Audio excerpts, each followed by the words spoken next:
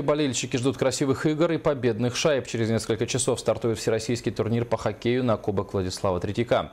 За победу поборются спортсмены из Москвы, Сочи, Ленинградской области, Великого Новгорода, Подмосковья и Якутска. В числе фаворитов Мирнинская команда. Как шла подготовка к турниру, узнавала Анна Винокурова.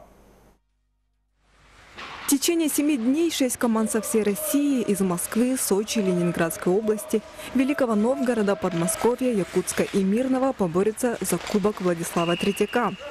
Соревнования всероссийского уровня должны отвечать требованиям Федерации хоккея страны. От организационных вопросов до рекламной символики на бортах. Сегодня столько людей как бы задействовано в этом плане.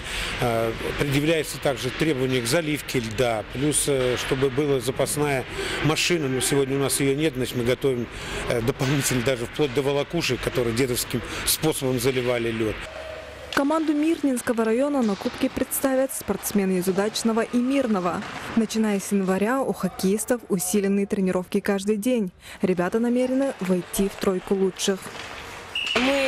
Хозяева этого поля, и нам надо обязательно попадать в тройку лидеров. Сейчас идут тактические тренировки. Несмотря на свой юный возраст, все ребята опытные спортсмены. Готовит команду района Кубка Владислава Третьяка тренер из Удачного Дмитрий Наместников. Три недели у юных хоккеистов были спортивные сборы.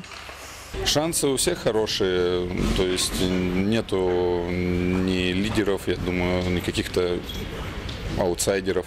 То есть у всех шансы одинаковые, главное выходить каждую игру, настраиваться, работать, биться от начала и до конца, и тогда все шансы наши. Кубок Третьяка пройдет в спорткомплексе «Кимберлит». Все игры бесплатные. В рамках соревнований для гостей и участников соревнований заслуженный мастер спорта Советского Союза, олимпийский чемпион Вячеслав Буцаев проведет мастер-классы. Анна Винокурова, Артур Голиков, телеканал «Алмазный край».